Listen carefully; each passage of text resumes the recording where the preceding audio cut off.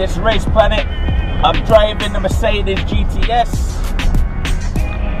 It's a bit of a monster. Definitely a bit of a monster. Just come from a video shoot slash photo shoot with Martyn Ford.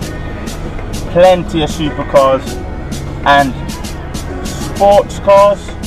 You know your M3s, etc. It's Been a good day. Got to meet Martyn Ford, cool guy. Um, yeah, Race Planet. If you like this video, you know what to do. Hit the like button, subscribe if you haven't already, and leave a comment. What's your favorite supercar that you've seen in the video today? You could choose two cars from the video today, which two would it be and why? Leave a comment. Race Planet.